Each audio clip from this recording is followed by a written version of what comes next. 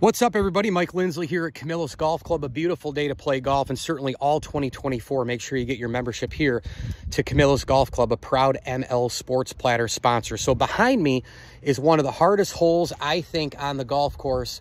This is a par three. If you're playing from the blues, it plays over 200 yards. If you're playing from the whites, even up at the brown and red tees, you got to be on the green. You don't want to be back in here.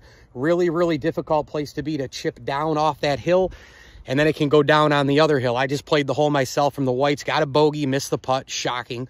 But uh, I parred it many times. I've doubled it many times. It's a very, very difficult hole. Make sure you come play Camillus. A bunch of these awesome championship type holes where every player of every ability caliber, you're going to be challenged no matter what here at Camillus Golf Club. Quick little bit on the Coyote situation. Super sad to see these guys move, man. I mean, whatever reason, it just hasn't worked out there, right? And this recent thing by the scumbag owner with the, the, the land, the plot of land in Tempe, and then, then that got rejected.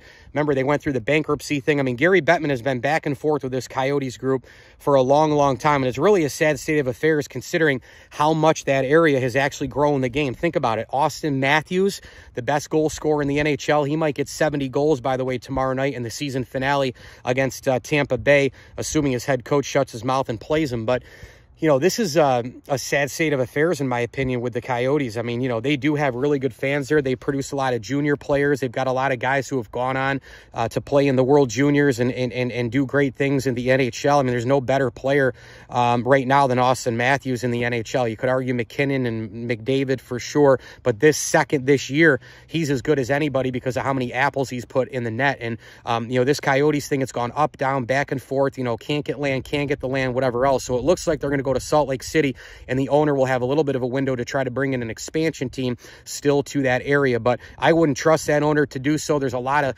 billions being tossed back and forth. Literally, the NHL is giving him a billion dollars to go move the team. The new owners then buy it for a billion, and then it's a 1.2 type of a thing, a 200 million, you know, difference in that, uh, where it's amazing because I thought Gary Bettman was going to say screw you all the way, and then they kind of pull him back a little bit. They give him another chance. It's just been an unbelievable turn of events with this Coyote situation situation, but for whatever reason, it's never worked there.